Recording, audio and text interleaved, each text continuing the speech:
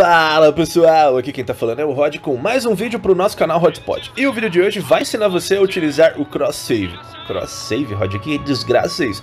Cross Save é uma das funções que tem no jogo que permite que você utilize a sua conta em plataformas diferentes. Então se você quiser utilizar a sua conta para jogar tanto no PC quanto no celular, vem comigo que depois da vinheta o Rod mostra como é que funciona.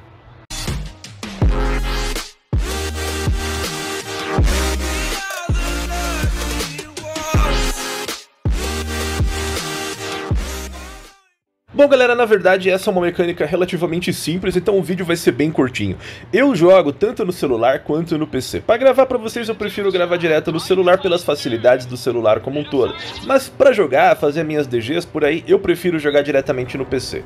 Mas eu tive uma certa dificuldade no comecinho para conseguir utilizar o meu save nas duas plataformas. Então eu vou mostrar para vocês o que, que deu certo para mim. Primeira coisa que você vai fazer, pessoal, é vai clicar aqui em ajustes, vai na opção de conta e vai clicar clicar ali na central do usuário. Clicando na central do usuário, você vai ter uma série de opções ali. A primeira opção que você vai ter aqui é para alterar, vincular e criar uma conta diretamente com a MiHoYo, que é essa primeira aqui. Eu tentei criar essa conta no celular e não deu certo quando eu fui fazer o login com ela no PC. Ah, deu como se eu estivesse começando a conta de novo, começou a mostrar a animação da história, o que significa que talvez tenha um delay. Eu vou tentar de novo, mas na prática para mim não funcionou.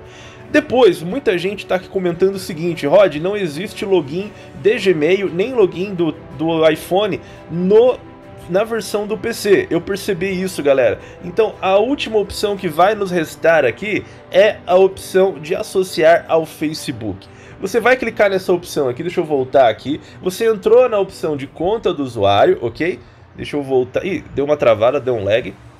Será que o lag é no Rod ou na, na internet do Rod? Bora lá.